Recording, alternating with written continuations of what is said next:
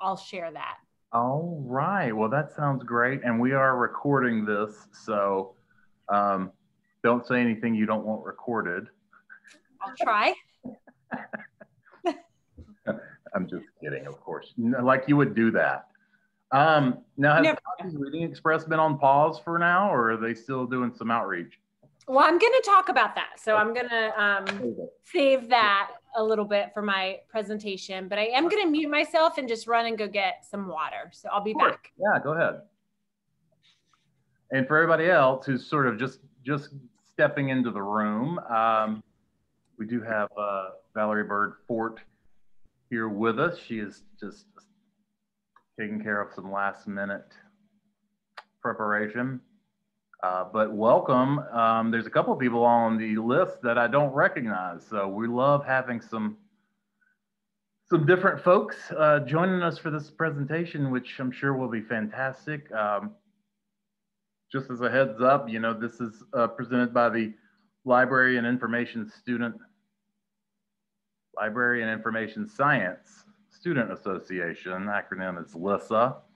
And we are happy to have anyone currently or formerly enrolled in the University of South Carolina's uh, MLIS program join us. Um, we are making some changes to our constitution, but uh, membership is currently free. So all you need to do is go to Garnet Gate and sign up or drop me or somebody else on the, um, on the list of the board members a line and we'll get you set up as a, um, as a full-on member. But um, LISSA is mainly a kind of a professional development kind of, but also social and support network for our students. Um, we've actually had some good success over the past, uh, or at least last week, we had some good success with uh, with another presentation, and it's looking like we're going to have a lot of virtual um, social events and learning events uh, for LISSA over the next couple of, um, at least the, the foreseeable future. So, but thanks everybody for joining us again. We're here with um, Valerie Byrd Fort. Valerie is, I looked up some of your bio while we were waiting. You have your uh, MLIS from USC. Your research is in diversity in children's literature, reading engagement, community literacy, and school libraries. You're also apparently a teacher for a while. Is that accurate? That's accurate. I was a school librarian. Teacher And I'll, and I'll talk about that too. Okay, great. So, um, and if I'm not mistaken, I saw you teach a couple of classes around Davis every now and then too. Is that accurate? Yes. What kind of classes did you teach or do you teach? So I'll talk about that too. But I teach children's materials. But what I teach in Davis is um, children's literature, which is Oh. like the undergraduate version of that class. Okay, okay. I don't mean to give your, your whole presentation away. That's all right. I'm real quick gonna um, email a link to this Sure, Zoom room to a friend who's trying to get in and she can't. of course. Yeah, the link. more the So merrier. I'm not um, available for a moment. I'm gonna. Sure. So hey Sherry, hey Tamika, Jessica, Laura, Anne. Thanks for joining us. We're gonna start in just a couple seconds. How's this weather treating everyone? Huh? Anna Priya, is it cold down there?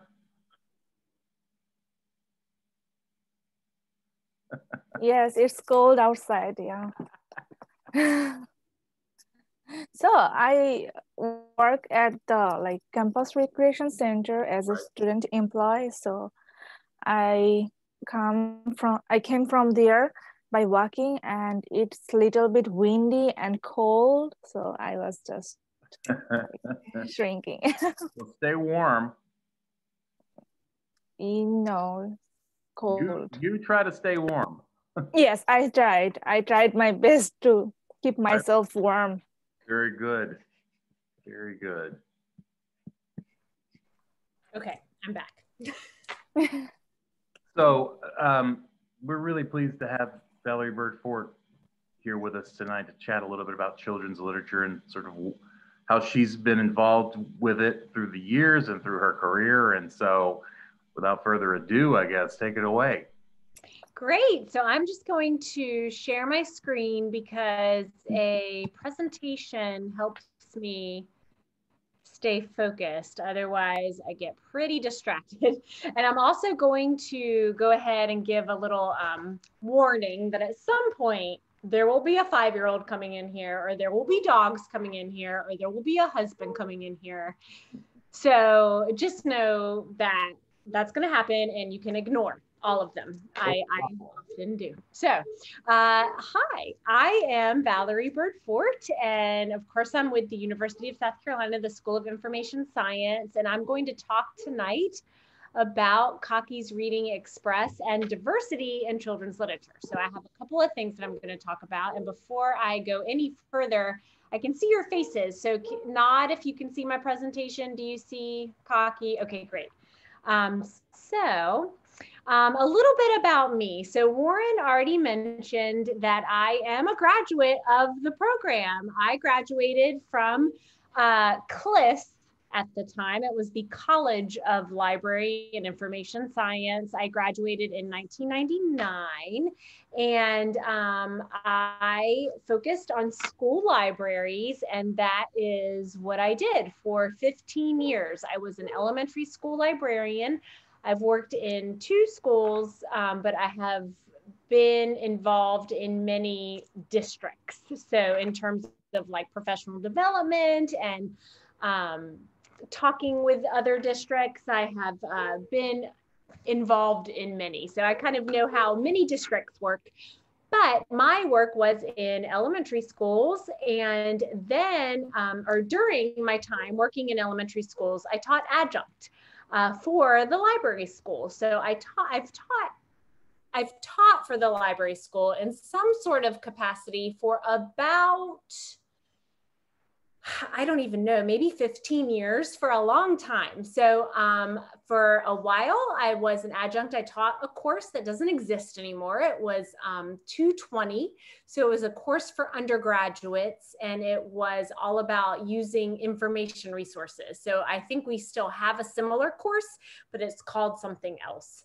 I have been teaching um, SLIS 325, which is an undergrad children's literature course for elementary education majors. I've taught that for about 10 years and um, I teach it now and I love it. I taught at adjunct and now that I'm full time, which I have been full time for about three years now, I teach children's materials, so SLIS 756, and I see some familiar faces that have been in that class with me before. Um, so uh, I teach that course and I still teach SLIS 325. So those are kind of the two courses that I teach the most. Um, I also teach programming. I taught it for the first time in the summer and I am on the schedule to teach it again this coming summer. So if it's something that you need to take, uh, think about taking it from me this summer. I also lead Cocky's Reading Express. I know my uh, coworkers, my colleagues, um, Dr. Liz Hartnett and Christine Schillick were uh, with you guys last week, and I work with them at the South Carolina Center for Community Literacy. That's where my office is located, and that is the home of Cocky's Reading Express. And I'll talk more about that in just a moment. So I have a picture there of our bus Right now, we're not on that bus very much. I haven't been on that bus since February, but I will tell you what we are doing in just a moment. And the other picture there, um, where you see community literacy the most, that is where our office is. That's the South Carolina Center for Community Literacy. Again, Liz Hartnett and Christine Schillick were with you guys last week and they told you all about that program, um, but I'm going to focus on CRE. And then finally, that's a picture of my family. That's me with my daughter Katie. She's five years old, and my husband Marty. And he owns music schools in the area. So he, if you are in the Columbia area, he owns Columbia um, Arts Academy, which is on Rosewood. He owns the Lexington School of Music in Lexington and the Irmo Music Academy. I am not musical at all. He is. so that's just a little bit about me. Uh, I am now going to talk a little bit more about Cocky's Reading Express. So I am the coordinator for Cocky's Reading Express, and Christine Schillick um, who was uh, with you guys last week, she was the coordinator um, for many years until she became the director, uh, the executive director of the South Carolina Center for Community Literacy. And at that time, that's when I was hired full time to teach and coordinate Cocky's Reading Express. So um, this is one part of my job but it's probably my favorite part. um, so, what we do is before COVID, we would travel the state um, to date, we've been to every county in South Carolina, and we have given away more than 137,000 books to children in South Carolina. Uh, I'll talk more about when the program was founded in just a moment, but our program looks like this pre-pandemic. I'll show you what it looks like post-pandemic in just a moment. Get on a bus. We um, take volunteers from the university. So usually undergraduates, but anyone who's involved with the university can volunteer with Cocky's Reading Express. So we love to have faculty, staff, graduate students, undergrads, like anyone who's involved, we would love to have you volunteer for our program. So we hop, we all hop on a bus and then we go somewhere in the state. Um, our main audience, our main focus is Title I schools. So those are schools that have a high number of free and reduced lunch rates. Um, and we go to those schools. Our primary audience is pre K through second graders, and we read to them. We do an assembly style program. So we've read anywhere to like 10 kids all the way up to 800 kids at one time. It just depends on the size of the school. So we read to them, and at the end of the program, they all get a book that they get to keep and take home for themselves after they promise Cocky that they will read every day. So again, we've been around 15 years. It was started as a student body, a student government project. Um, so the president at the time, Tommy Preston, uh, at the time, there was a lot of discussion. There was a documentary that had just come out of, um, called Corridor of Shame, and it was all about the schools in the I 95 corridor. That's Allendale, uh, very uh, rural area, very high poverty area. And as the student body president of the university, he wanted to try to do something to serve those schools. So, out of his um, desire to reach those students, he came up with Cocky's Reading Express. So that was about 15 years ago. And now it is something that the um, School of Information Science has taken on, and we now travel the state, give books away, and do all we can to increase literacy in South Carolina. So, again, we've given away over 137 books. Um, we are completely funded by grants and gifts, and that's a huge part of what Christine Schillick does. I like to say that she does the grown up part of Cocky's Reading Express where she gets the money. She has lunch with um, with uh, funders. She does like the the talking, the conversation, the development, and then I get to have all the fun. I get to travel with our students. I get to read to the kids. I get to select the books, and um, I get to have the fun part. She calls it I am the boots on the ground, and she gets the money, but I um, call myself more like a clown with it. So I am um, the person that coordinates all the visits. I have a little video here that I'm going to show you so that you can just get a taste of what a Cocky's Reading Express event is like. There's some images, some video here, and these are mostly made up from visits that we did um, last year. So in the spring, think like January to the beginning of March. Mm-hmm. and then it all kind of stopped. But here is um, what it looks like typically. Whoops, that's not what I wanted to click. That is just a preview of the next slide. Here we are. Read your dad, aunt, uncle, cat, dog, fish. Read every single day. We're all gonna promise Cocky that we're gonna read every single day. Can we do that? Yeah? Okay, so on Cocky's count of three, we're all gonna shout, I promise. Are y'all ready?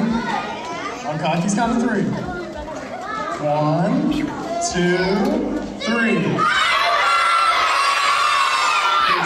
One, one, zero, champ. And. Are you ready? One.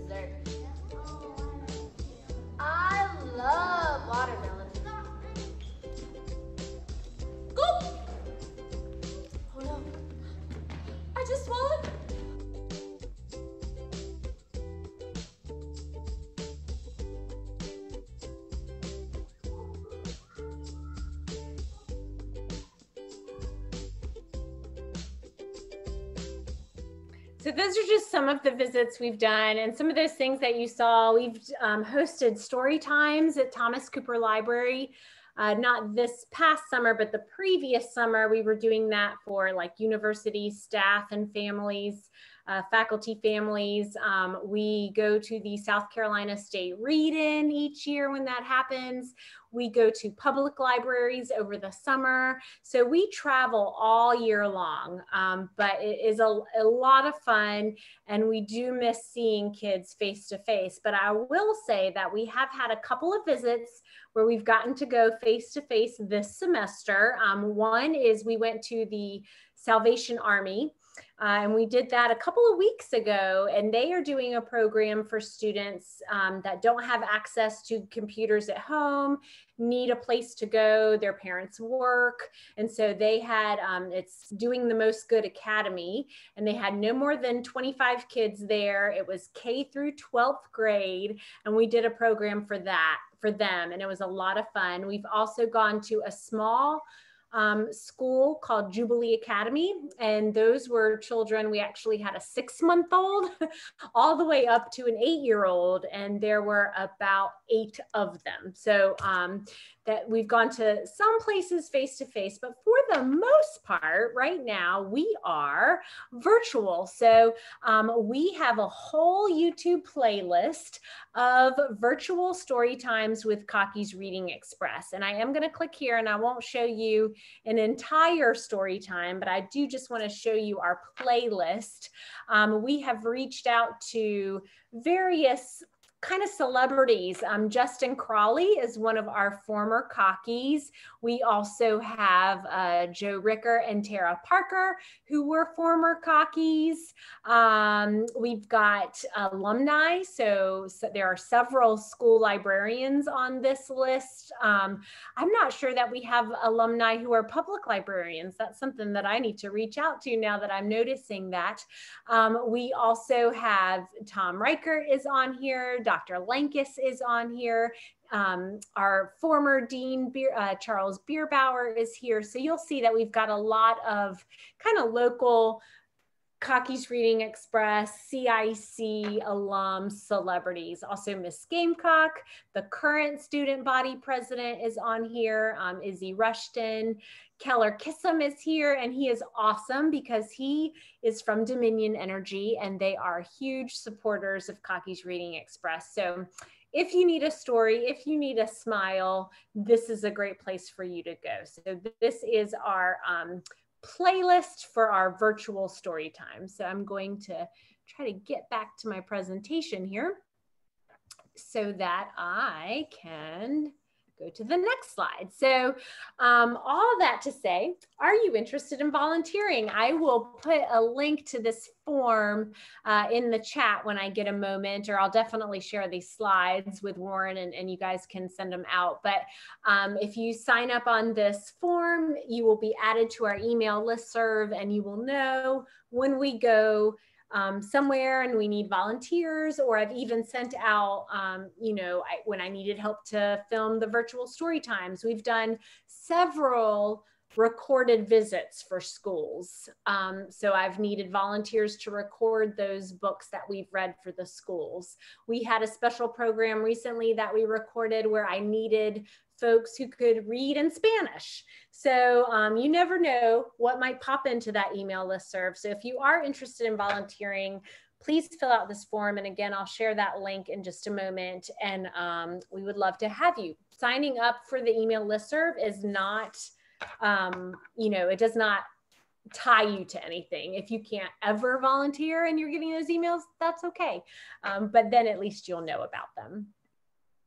Uh, so I'm going to stop there really quickly because I'm about to go to the diversity in children's literature portion of the show tonight. But before I uh, move on, are there any questions about Cocky's Reading Express that I can um, answer for you? And while I do have my slideshow um, minimized, I will share the link to this form to fill out if you would like to volunteer for Cocky's Reading Express. So I put that in the chat. And are there any questions about Cocky's Reading Express?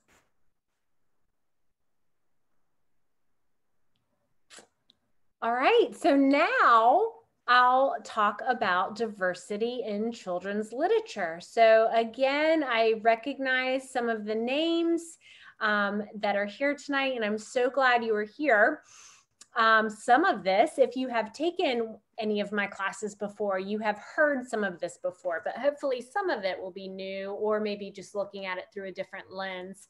So um, I am in the Language and Literacy PhD program through the College of Education at USC. And last night, last night, Tuesday night, was one of the last times one of the classes was meeting.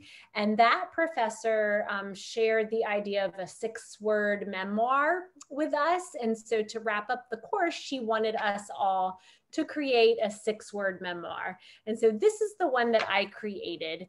Um, and I think like just the more I think about it, the, the more perfect it is for me. Uh, and it's teach love through books save lives. And I really um, believe in this. And so now I'm going to talk a little bit more about it. So I'm going to start with Rudine Sims Bishop. And if you're interested in children's literature at all, you know this name. She is the person who's kind of um, connected with the idea of mirrors, windows, and sliding glass doors in children's literature. And this is a quote um, that you know, I'm sure many of you have heard before. And I am going to read this to you. And I have another quote on the next slide to read to you as well. But I think they're all really important. I don't want to just read slides to you, but I think all of this is really important to think about and to hear. Books are sometimes windows offering views of the world that may be real or imagined, familiar or strange. These windows are also sliding glass doors, and readers have only to walk through in imagination to become a part of whatever world has been created or recreated by the author. When lighting conditions are just right, however, a window can also be a mirror, Literature transforms human experience and reflects it back to us. And in that reflection, we can see our own lives and experiences as part of the larger human experience. And she ends, or in this um, essay, she states, when children cannot find themselves reflected in the books they read, or when the images they see are distorted, negative, or laughable, they learn a powerful lesson about how they are devalued in the society of which they are a part. So I think this quote is really powerful. And when you think about some of the groups of children whether you're in a public library, a school library, a, if you're a classroom teacher, or just you're moving around in the world, kids are everywhere, right? When they are not seeing themselves in the in the media, in the books that they read, um, in the conversations that they're having with their families, then they think they are um, devalued. They think there is something different about them. They think there is something wrong about them. And this is um, going, thinking about all kinds of things race, gender identity, um, uh, sexuality, uh, thinking about family makeup, thinking about religion, just thinking about the way you look. So there's all kinds of things that can tie into this um, statement. And there's many reasons, um, many benefits to reading diverse books. And this um, bulleted list is from the website we need diverse books.org, which is an organization that if you know about children's literature, you are familiar with it.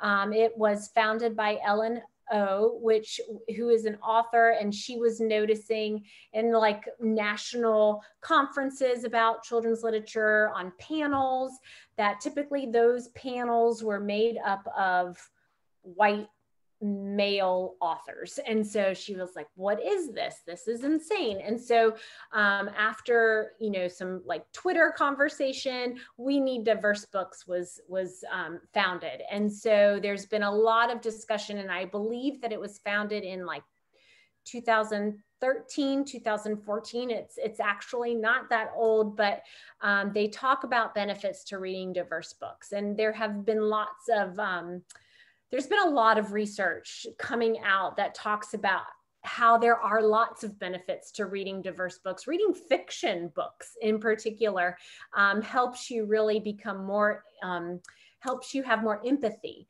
But some of these reasons are they reflect the world and the people of the world, they serve as a window and a mirror and as and an example of how to interact in the world, they prepare children for the real world, and they enrich educational experiences. Now, for a second, you know, we're, we're, I am focused on children's literature and that's my passion, that's my love. But I do want you to think about if you are not all that interested in children's literature, think about the literature you read for yourself as an adult. Is it diverse? You know, maybe because I am so focused on children's literature, I, this is in our kind of circle and in our conversations all of the time. But in like adult reading, I don't know so much that that it is talked about as much. So so think about that. So some of you may not be, you know, as into children's literature as I am, um, but think about the books that you read. Are they diverse? What can you do to kind of switch that up? Um, because if you do, if you do switch it up, it's going to make you a better person. Um, so I've got some some uh, infographics I want to show you. So this is something that chances are you've already seen, but I want you to, um, we're going to talk about it together in just a minute. But this is diversity in children's books in 2015. So this is the percentages of books depicting characters from diverse backgrounds based on the 2015 publishing statistics compiled by the Cooperative Children's Book Center at the School of Education at the University of Wisconsin-Madison. So the Cooperative Children's Book Center is very similar to the South Carolina Center for Community Literacy in that they are a review center, they get books from publishers, and um, what they do, which is not necessarily necessarily something that we do at skill but what they do with those books is every single one that comes in they um, kind of chart it is it um, by or about um, an african african american author is it by or about a latinx um, author or American Indian First Nations. Like they track all of that. And um, for the past couple of years, they've started tracking LGBTQIA plus characters, authors, illustrators as well. But this is these are their findings from 2015.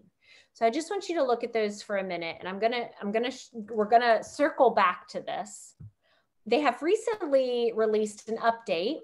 So here's an update from 2018. Um, and here they are side by side.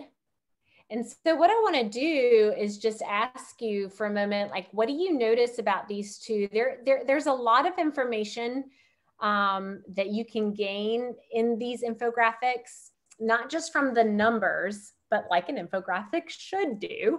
There's also a lot you can get just by looking at the images. So I want to have a little bit of a conversation about this. Like, what do you notice um, when you look at the two and you kind of compare them. Yeah, Sherry noticed that it shifted to animals. so if you look at 2015, so we had 73% where the books were um, or about like white characters and the gender of this illustration is a male or looks like a male. Um, and then, so it did go down in 2018. But Sherry noticed that in 2015, the majority of the book, or they were 12.5% animals trucks, and then it increased to 27%.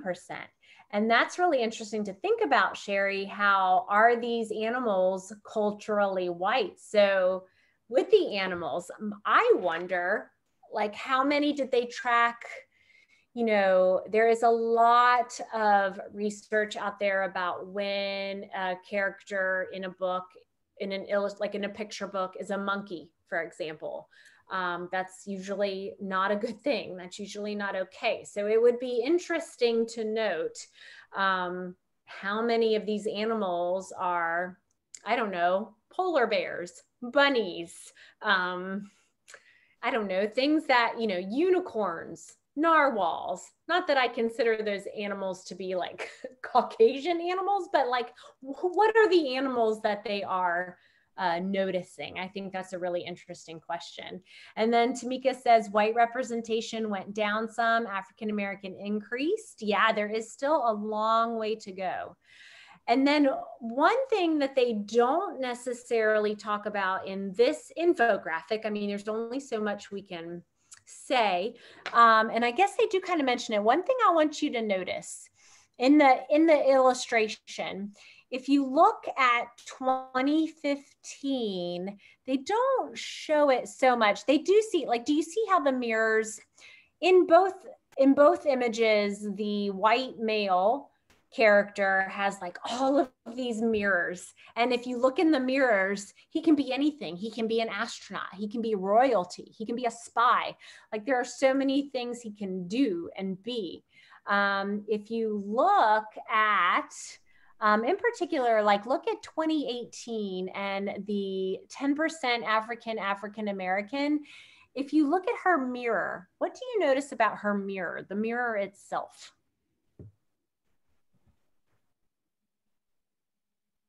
Is it okay to speak? Yes, please.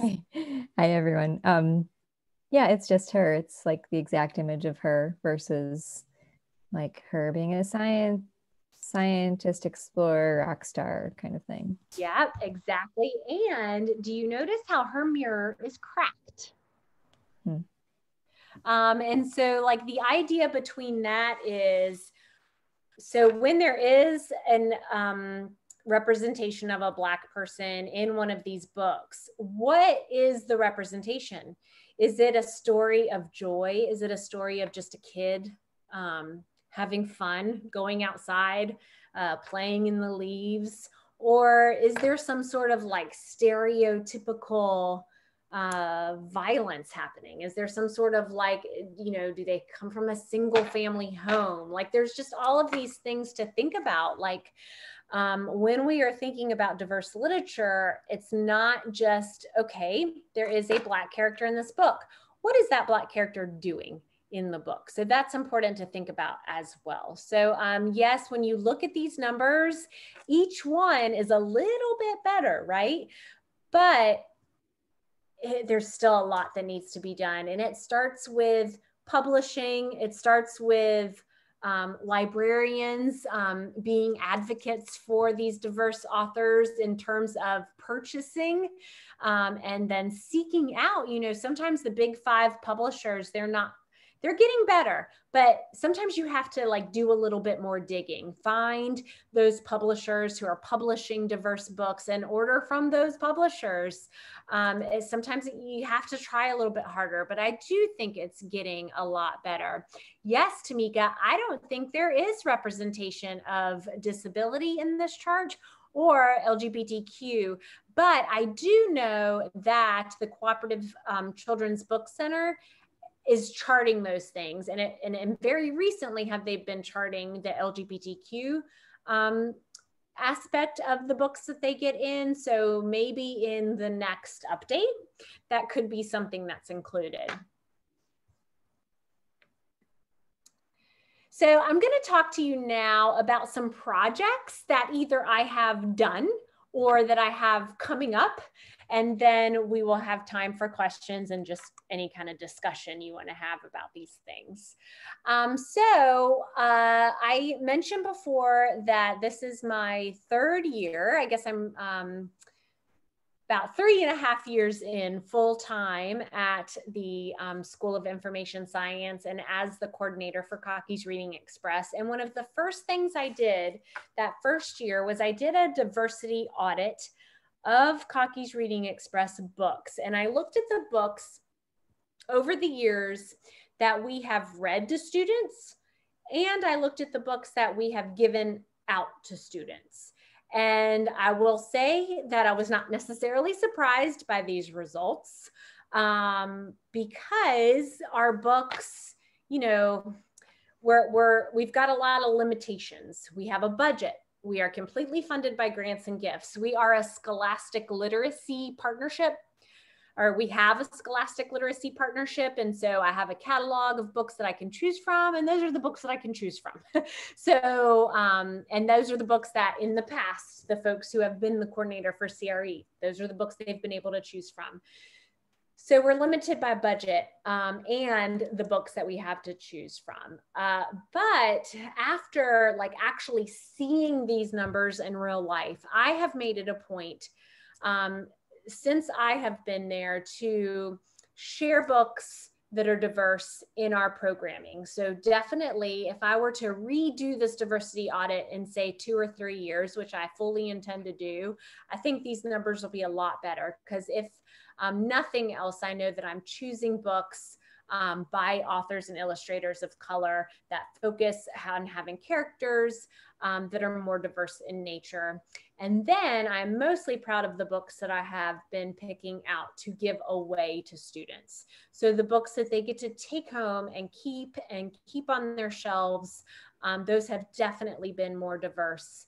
Um, so that is one thing that I have worked on, and I share that with you to tell you. Um, some of you are students, some of you are practicing librarians now. That a diversity audit is a really powerful thing to do, and there's lots of resources out there to do it. Um, you know, on a small scale, I did a CRE diversity audit. So that was a total of like 80 books. That's not huge. So it wasn't all that difficult to read through the books and chart them. Um, but start small. If you're a school librarian, maybe start with just like books that you use in a particular lesson. If you're a public librarian, maybe look at like your story time selections and do an audit of that. Um, I just think a diversity audit is really powerful because then you just see those numbers in a concrete way. The Linda Lucas Walling collection I want to tell you about. So um, yeah. Oh, hi, Tammy. Um, I do, but I can share that with you at, an, at another time. So I'll make a note to share that with you if, if or if you'll shoot me an email or if anybody is curious about that, um, I'm happy to share that, but just shoot me an email and I'll do that. So at the South Carolina Center for Community Literacy, we have the Linda Lucas Walling collection. And this is important in terms of diversity because this collection is all about resources for inclusivity. So uh, Dr. Walling is a retired professor from the School of Information Science, and um, that's her focus on children's literature, in particular about um, diverse or about different abilities, about disabilities. So uh, right now, one project that we are working on, and actually um, Barb, one of one of the LISSA folks, is um, helping with this. We are um, looking to add more decodable text. So decodable books are books that are great for kiddos or for anyone with dyslexia.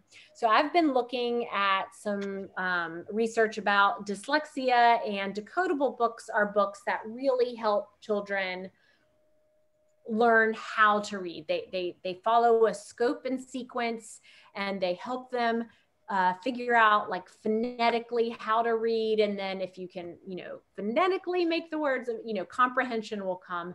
And so we're trying to build that collection with um, decodable text and resources for readers with dyslexia. So that is something that you are welcome to come browse through and look at the linda lucas walling collection at the south carolina center for community literacy and um, we're happy to to help you with that.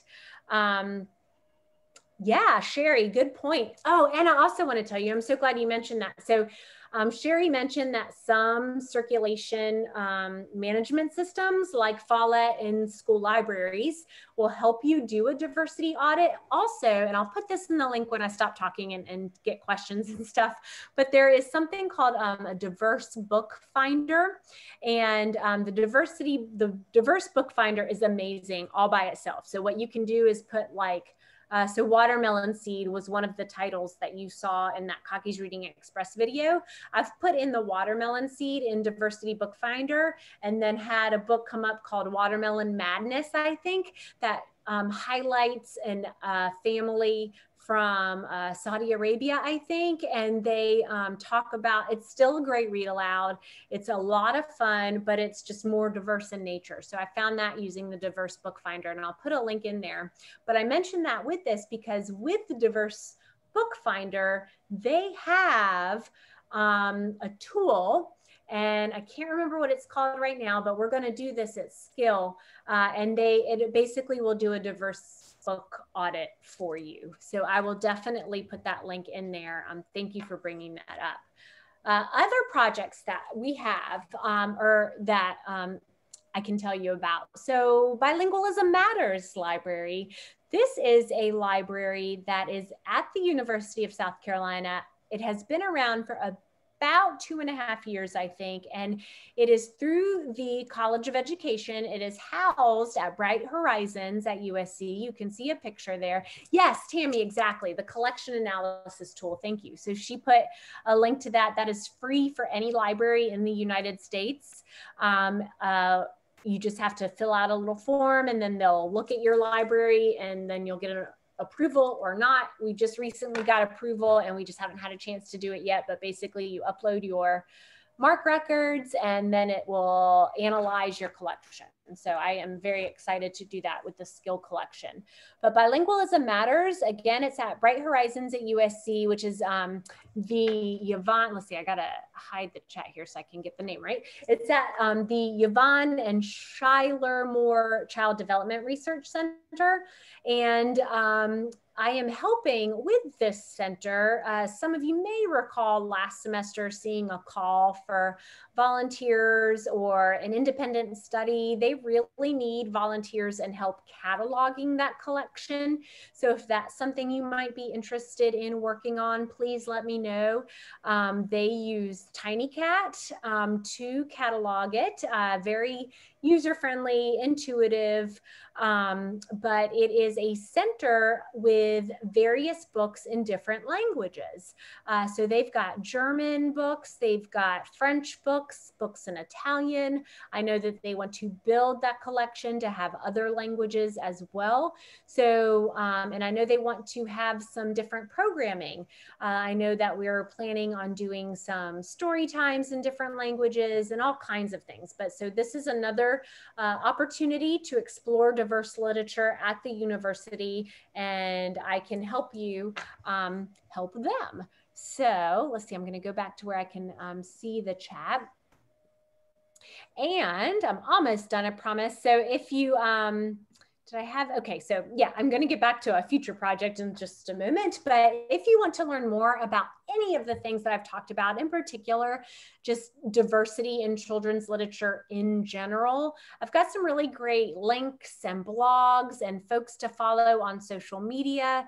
Again, I'm really happy to share this presentation so that you can get these links. If you've taken one of my classes before, chances are you know about these folks, um, but they are all really important um, to follow. So before I get questions, a future project that I am working on. So again, um, I'll say that I am currently in the PhD program at the um, College of Education, and Language and Literacy, and my research focus is on LGBTQIA plus books in elementary school. The reason that I am focusing on that is because when I do presentations to school librarians um, around the state, which I've done a lot of diverse book presentations, um, in particular my elementary school friends when i when i ask them you know like so dr spiering dr jenna spiering and i did a presentation for a, a local district's um, entire uh, all of the librarians k through 12 and so we had them all look at the stonewall award winners. So stonewall is the award that is given to excellent LGBTQIA books. And they have a, an award for young readers, they have an award for middle grade, they have an award all the way for adults. So there's definitely books on that list for K through 12, right? So we gave them that list and we said, look up what books you have in your collection of what's on this list. These are award winners. These are, you know, excellent books in terms of like looking at selection tools, looking at reviews. These are books you'd want to have in your collection. Again and again in the elementary schools, they did not have any of these books. And what I was most like, uh, yuck with is that they seemed okay with it, that they didn't have any of the books in their collections. And the reason was that the, um, conversation was they wanted to spend their money. Granted, no one gets a lot of money, especially not school librarians, um, but they wanted to spend their budget on getting books that looked like their students. So they wanted to focus on having books that were about brown and black characters, that were about different, um, you know, just books that looked like their students. Well, my feeling about that is first of all, you can't look at someone and, and know what their sexuality is. You can't look at a child and know what kind of home situation they have. You can't um, look at a child sometimes and know what they identify as. Perhaps they look like a little girl to you, but they identify as a little boy and they don't know what to do with that. And if they could see themselves in a book that you're reading to them that would be huge. That would be so powerful. And going back to my six word memoir here um, if you read books that really show um, everyone no matter what it is race gender sexuality, religion, you could really save some lives because the research shows, especially in regards to LGBTQIA folks, like, you know, they're, they're, they have a high death by suicide rate. And if we can teach them young to just be empathetic and more caring and to show love to people who are not like them, then we we could save lives. So um, that is really like my main focus right now. And I've got some projects, just ideas um, that I hope to follow through with in terms of that. But that is um, what I am working on. And I'm going to go back to, I hope you're not dizzy by all this. So I'm just going to go and um, that's my contact information. So you can definitely email me if you need anything. I've got my website there. I've got all the social media there. Again, I will share this presentation so that you can have it.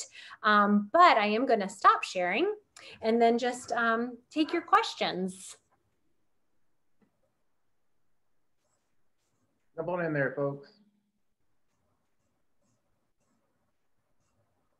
I can get us started, Valerie, if that's all right. Sure.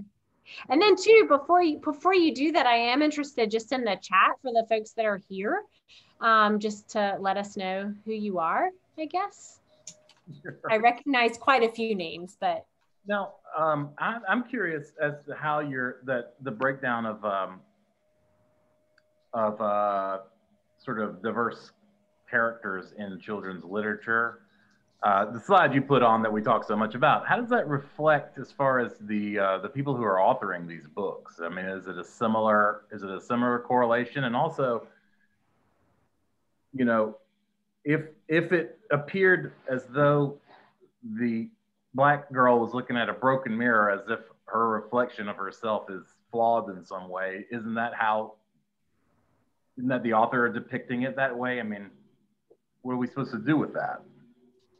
That's, a really interesting question. So, speaking to like authors, yes, publishing, I think they are trying to trying to do better. Um, there's a lot of new like imprints coming out where they're specifically working on publishing diverse books by diverse authors and there's a whole conversation about own voices where like so if i am writing a book and the um, main character is a black man that I am not, I don't know that experience. I don't walk in those shoes, right?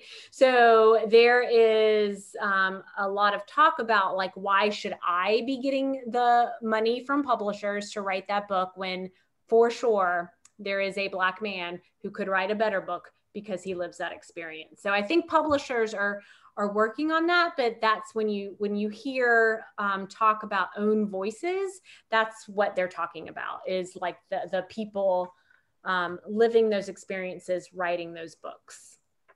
Right. So, so like sort of just to kind of directly correlate, you know, there's a 20%, 27% of the authors are, are African American. And again, so they're writing about these issues though. So their subject matter. Well, well, I don't know necessarily. I'd have to look at their numbers, but I don't know necessarily that those numbers are, you know, always tracking a black author who's writing a black story. Got you know, they're, these are just the the authors. Yeah. Um, so it could be um, a black author writing an animal book. It could be, you know, so I don't know necessarily, and it could be that there's um, white authors writing about a black experience. So I don't know necessarily in that statistic sure. that I showed that that's what they're tracking. Sure. Um, would you say that those those kinds of these kinds of pushes for diversity though and diversity in not just the subject matter but the authors is having success? I think so. I think it's really small. I think it's right. it's, it's um, moving slow, yeah. but I think it's getting better um, personally. I know that you know, if anyone else wants to jump in with their thoughts, you know, I'm happy to have a, a conversation because I'm certainly not, uh, it's my passion and I'm really interested in it, but I don't, um, you know, I still think I have a lot to learn just like oh, anyone. Yeah. yeah, all of us do, obviously. This is kind of, uh, this is all, this push to divert for diversity as old as it is, you know, um, and going back to, I guess, you know, abolition. Um, you know, we're still just making baby steps, but uh, but at least we're talking about it here and right now. Um, it's unfortunate it took so long. And I think some of it can be really hard. In particular, the the current research that I'm trying to do um, with elementary school and sharing LGBTQ IA characters and in South Carolina, you know, a lot of uh, school librarians, classroom teachers, they're just very they're uncomfortable.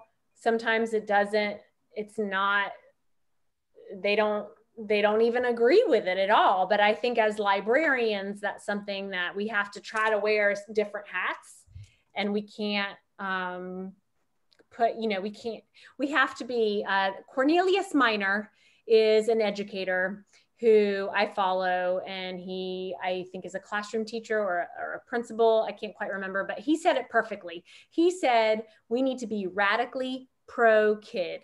So I think the, the most important thing that um, librarians who are serving youth need to focus on are the children that we're serving. So it might be that we we are afraid of what the parents are going to say or the caregivers. We are afraid of what our principals are going to say. We are afraid of what our supervisor supervisors are going to say, especially if we're like in a small public library.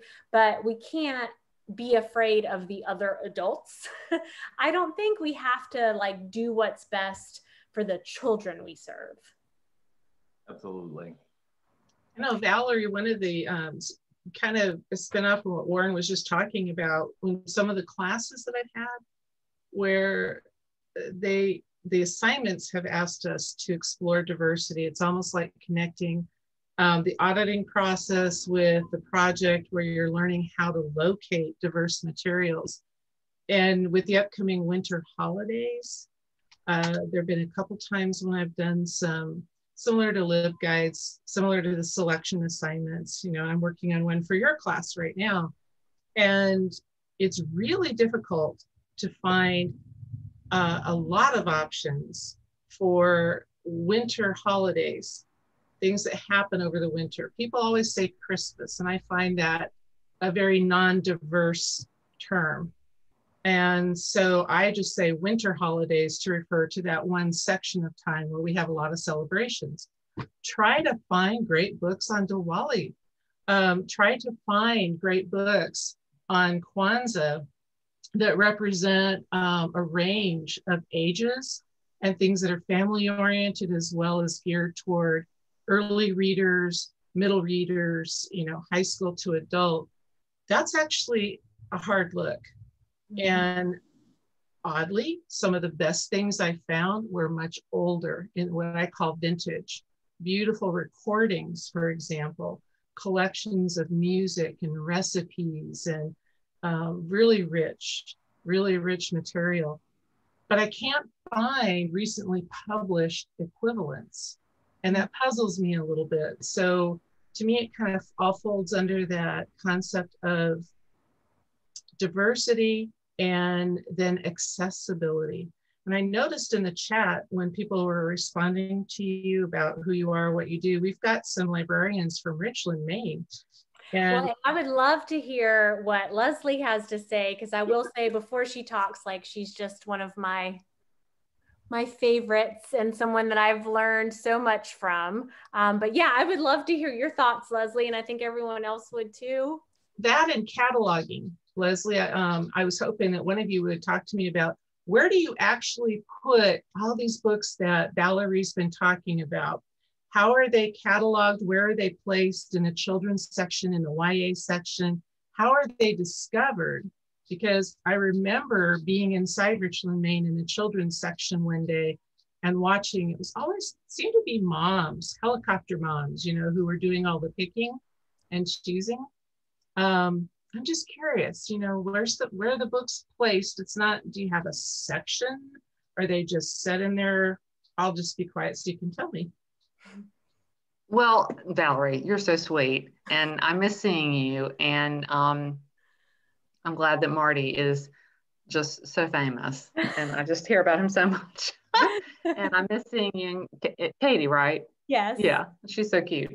Um, and Jess Bingham is here, and she is our um, children's um, collection management librarian, and she selects materials. Um, for years and years, um, that was the responsibility that I had, and then we were happy to hand that over to um, the collection management department. So Jess Bingham is here, and she goes by Jess, but she's showing up as Jessica Bingham. Um, and um, Ann Katz is also here from the children's room at the main library, and Ann is a recently hired children's librarian has been in the children's room for a couple of years now in a couple different capacities. And I said, you should go to library school. So she just graduated from your program at USC and um, is just a gift to the community and to the children's room for sure. And we're lucky to have both of them.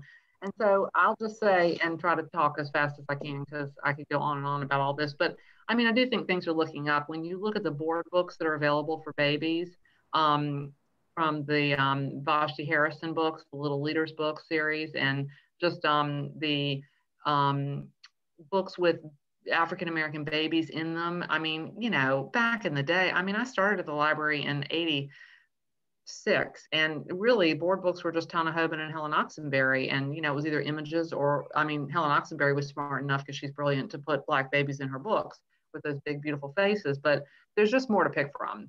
So, and Jess was on a committee, and I think she was, and she'll correct me if I'm wrong, to audit our collection with um, Heather McHugh and a bunch of other people who work at our library and look at the whole collection of the library to see in terms of diversity what we have what we need to buy more of. And all of a sudden we started getting more multiple copies of african american books you know um, um, hair love um, and just you know other things that are new that we started getting more copies of them which is great. Because the thing about it is is when you have less to choose from for children that reflect the black community and we have you know over well at least half the children who come in are african american and you want to give them as augusta baker always said you want to give them to the white children too. I mean it's not like you just give the black books to the black kids. I mean that would be weird.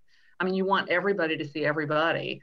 But um I think that um, there is more to choose from. And um, I think that there is a way to make sure that they're visible. So we have bundles of books in the children's room when we were open that were, um, and I always had this kind of rule about the different topics that could be in these bundles of collections of books on top of the shelves with a sign um, that advertised them, that they were of a genre or of an interest.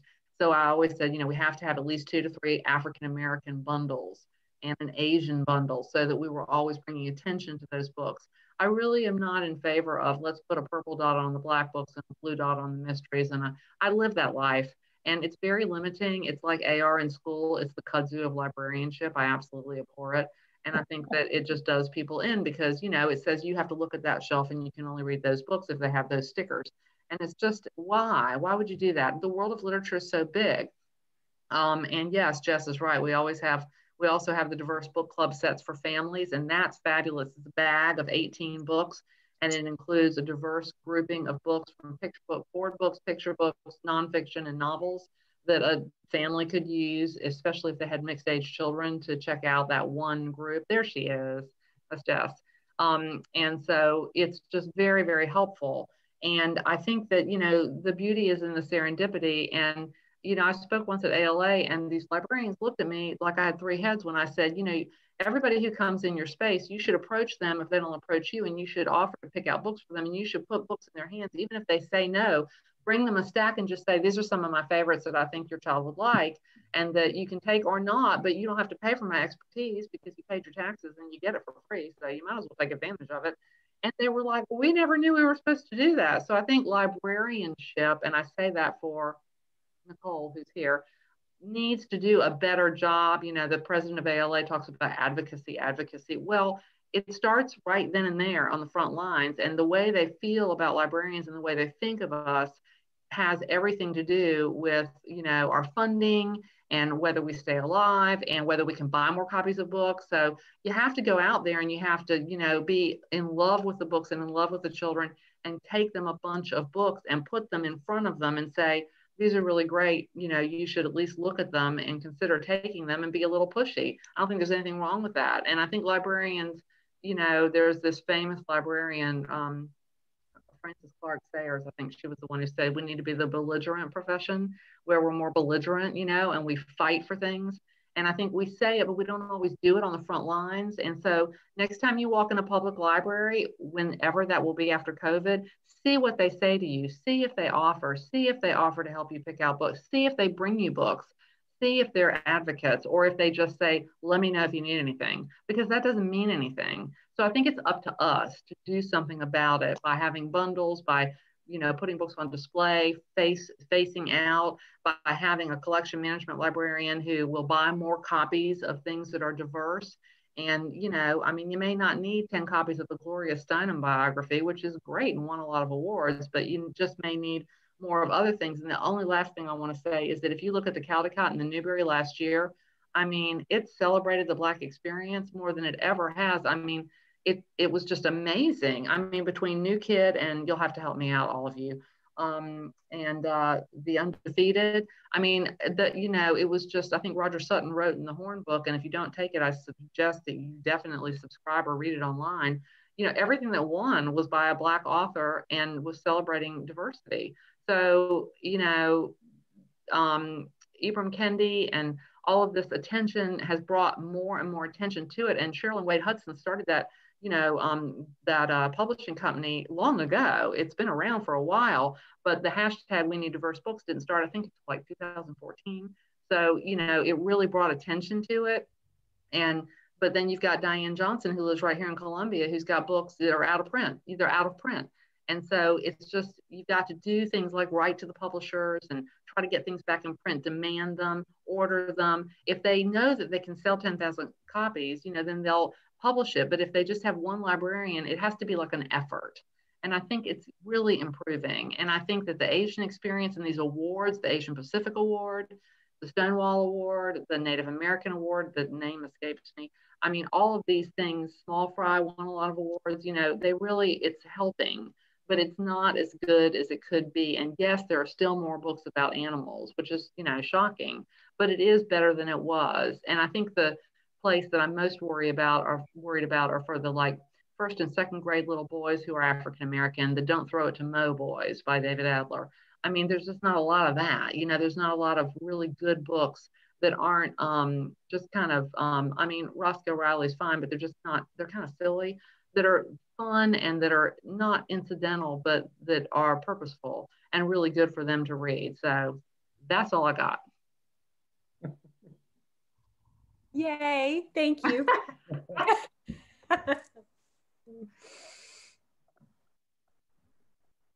Anyone else oh, have just anything to share or any any questions? Yeah, I have a question. It's Tamika. Hey. um, with COVID 19, do you see a rise in children's literature going towards hygiene? Because I'm starting to see that, like wash your hands and wear a mask and those type of preventative measures. Um, and also, uh, going back to the African American authors, I know on Netflix, I think it was in September, mm-hmm. they had the program Bookmarks. Yep. So they they featured like African American celebrities just talking, uh, reading the African American authors' books. So yeah. So um, uh, about like COVID and hygiene and germs and hand washing like right at the beginning of the pandemic, there was actually there was like a rush of all these self-published um, COVID books I was noticing, and there was one, a lot of them available online for free. And there was one in particular. I know the publisher is Nosy Crow, but I can't remember. I think the book is just called COVID 19, maybe, or coronavirus or something. And it's actually really good. You know, a lot of times, like, there is definitely a, a trend right now Um, and some of them are good, some of them are not so good. Uh, at Skill, where we get new books, uh, we did recently get um, a board book that was called Germs. Um, but hand washing and germs is just one of those things I think that is um, kind of typical in children's book world. So I don't know. Like, there's definitely been some COVID 19 books and coronavirus books, but I think there's always been hand washing and germs because that's just one of those things that we want to teach our, our early readers, you know. Um, and then also going back to bookmarks, yeah, and that's a fabulous series. If you have not watched it, it's on Netflix, and the host is Marley Dias. And Marley Dias, I'm not sure how old she is now, maybe like 16, 17, but when she was, I think, 11, she was noticing in her um, school that she was uh, reading a lot of great books, but none of them were uh, with characters that looked like her. So she's a young Black girl. And so she started a grassroots effort with her mom, and they wanted to collect 1,000 books that had main characters that were um, young Black girls. And she had a hashtag and everything. And um, she now has this like amazing um, she's an advocate. And also on YouTube, we also found that she um, kind of uh, uh, says that Augusta Baker is one of her idols. So uh, that's on YouTube. Uh, we'll, we'll find that and we can share that link with you all. But uh, that was really interesting um, that she knows who Augusta Baker is and talked about Augusta Baker in an interview. But um, uh, the bookmarks on Netflix, it's all African American authors, illustrators, um, celebrities reading books by African American authors, and it's really great. And they're really short too. So um, you know, it's it's a picture book read aloud. So it doesn't take a lot of time to watch, but it's really great.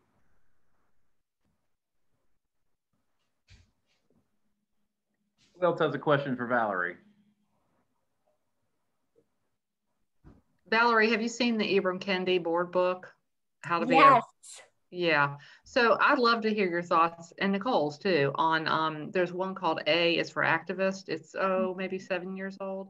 And we moved it from board book to social science because I just struggle with board books because I feel that, you know, I know that older children will read a board book, but I guess I'm stuck in the whole that board books tend to be for babies. And I just struggle with having it in the board book section because that's where people go, you know, and where we urge them to go to read um, books for babies.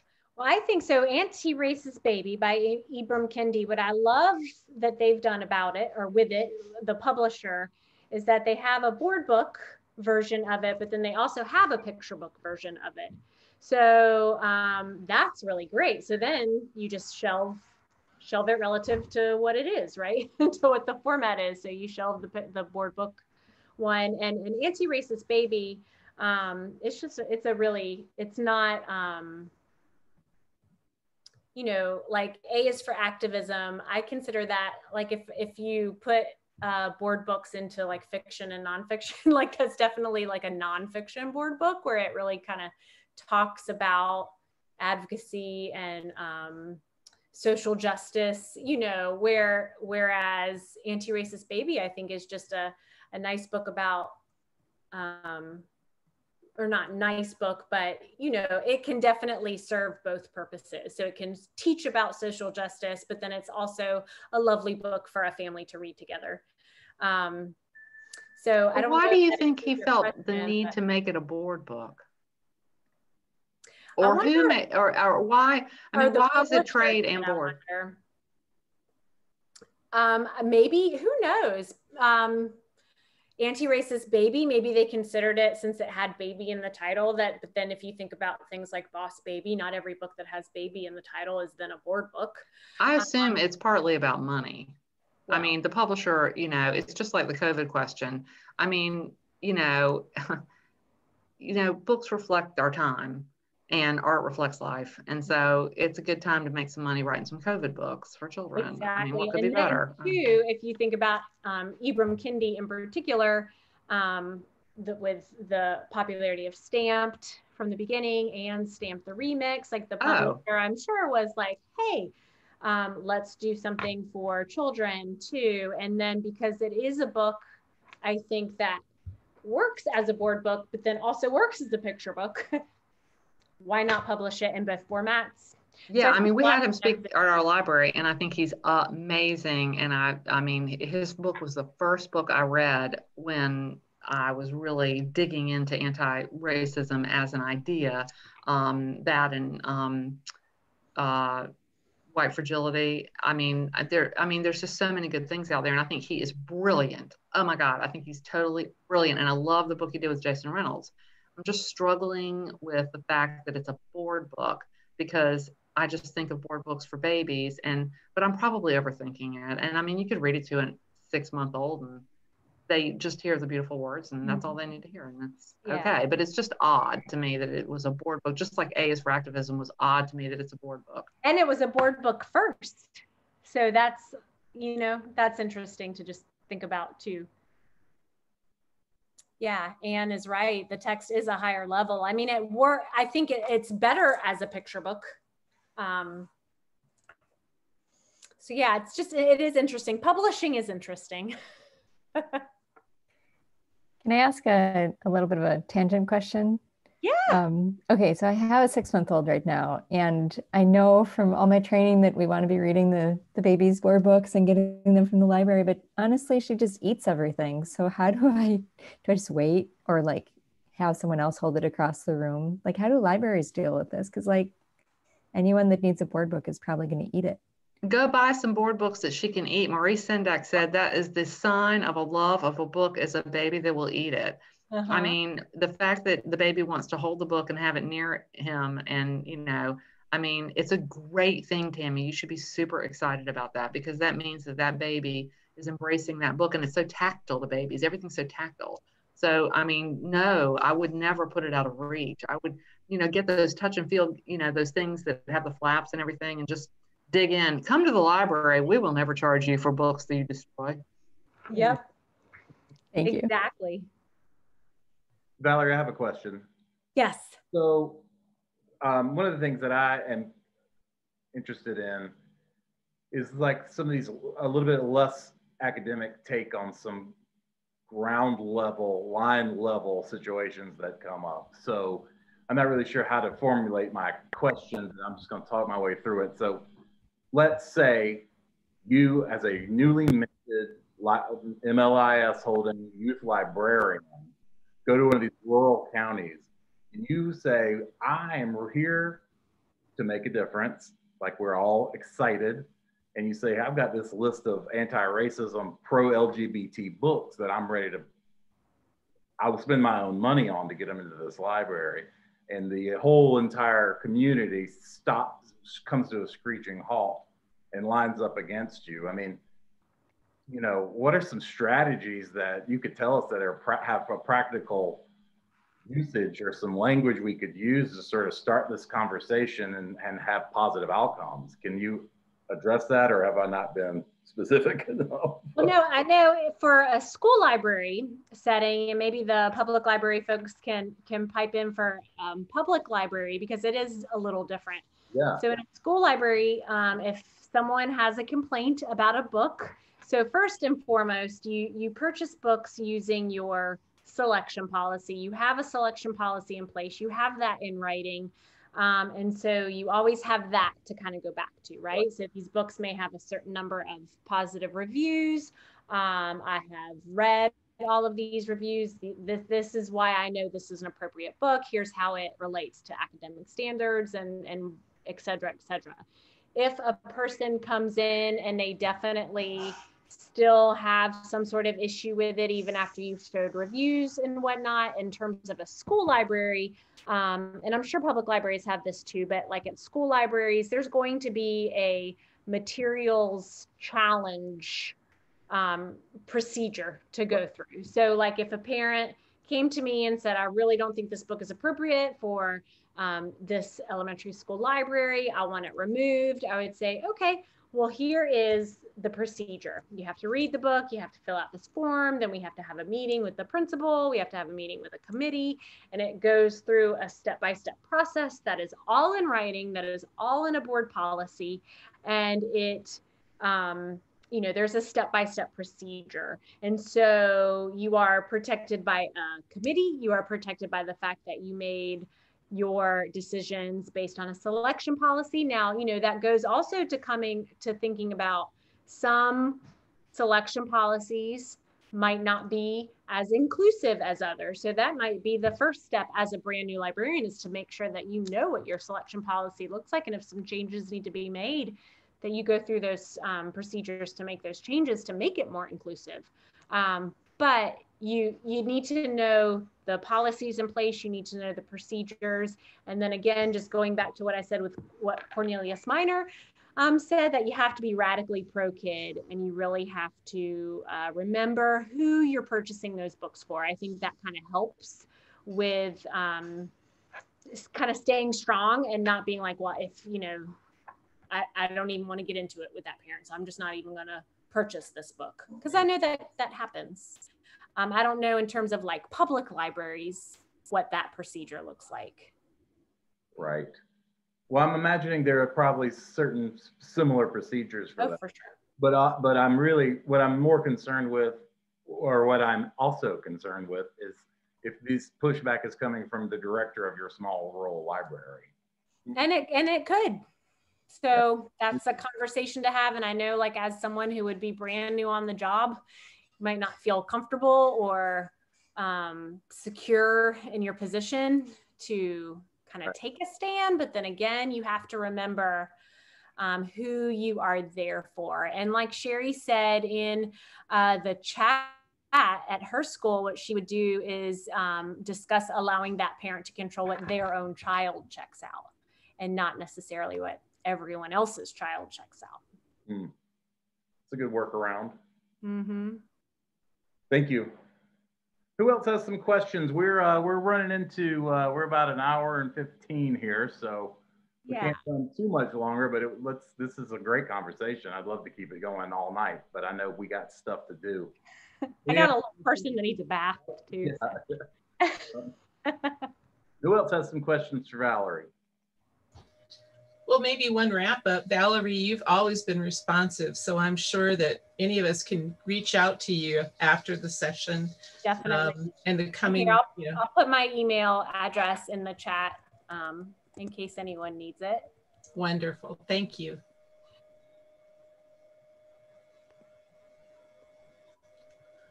Yeah, one of the things that I have just absolutely loved about my experience, and Valerie, I graduate in December, so I'm almost done here. I got I'm days away. One of the most important things that I would want to impress upon someone thinking about coming to school here is how accessible and helpful our faculty is at um, at Davis College. Um, there's just almost nothing they wouldn't do for you. They're generous and giving and, and their, their time, which is so valuable. They never hesitate to, to stop and chat with me, make an appointment with me. And, you know, different professors who I've never even taken their class uh, will invite you by to come chat about whatever issue you may have. And so, um, and I know you're the same way. So I just, you know, to all of our professors in the room, shout out. You guys do an amazing job and I've been pushing. Um, I've been pushing some of the. I'm interning at a live at a small rural library, which has been fantastic. Their their personnel is fantastic, and it really has been a great experience. And I've where been, are you interning, Warren? I'm at Abbeville County Library. Oh yeah. Yeah. So there's about 27,000 people in the whole county. So there, this is a small library, but they make they do a lot with with what they have with their um, small budget, and they do a great job. But I'm always pushing those people that I work with to go to library school. Are you looking to work in a public library? I am. I'm on an archives track though. Oh, okay. I'm trying to work with local history and archives stuff. Well, uh, our local history manager just resigned and retired. Um, I will send a resume tomorrow. Well, there you go. Um, where all our positions are frozen for the moment because of COVID, but um, she did um, retire. And I just have to echo what you say, and Anne probably has thoughts about it. I don't know where Jess went to library school. Jess, I'm really sorry I can't remember that. But um, I know that um, the culture there. I mean, I graduated in '86. My mother was in the first graduating class of the library school in '73. Wow. And um, it's always been just very warm and inclusive, and you could always knock on doors. I was a grad assistant, and I mean, people are just so nice and Mm-hmm. you know um, it's not an old profession it's not like math or english you know it's a fairly new profession um, and discipline but um, it has such a rich history at that particular place because of the deans that have been there and they've just been really um, guiding it to be like a family kind of like it is at the richland library when you work there um, it just is yeah and they they attract good people um, i mean valerie's there nicole's there i mean i know hardly anybody there anymore but everybody that i hear about you know is um, I hear just really good things. So I'm glad you're having that experience, you know, um, 35 years after I went. it's been great. Yeah. And, and they're teaching, um, you know, we got a really healthy dose of the technical side of librarianship, which I think is super important. And, um, and they don't they don't shy away from any of that. Um, it's about as cutting edge of I, I, think of a program as I've ever read about because uh, I've never been to any other programs. But but um, what they're doing at, at U of SC is, is, is as advanced, I think, in, as far as a master's degree in librarianship as, as anyone is doing in the country. It, it's really impressive and they do a great job. Um, and it's great to chat with you. I'm sorry I haven't gotten to meet everybody in our chat. It's so amazing to have these outside visitors that are um, maybe LISSA alumni, but um, but we really appreciate everybody stepping in and um, uh, we are going to continue to try to make LISSA very vibrant and have more uh, sessions like this in the future. And uh, we will certainly try to get the word out to, to everybody about what those will look like. And so, um, but, but LISSA is, uh, you know, in this new sort of age of the plague, we're having to find new ways to reach out and socialize and, and learn about new things but this has worked out pretty well. And I want to just thank everybody for stopping by and, and sitting in. I think we had almost everybody that started with us an hour and 20 minutes ago is still here. So that's kind of amazing, um, especially in something so easy to walk out on.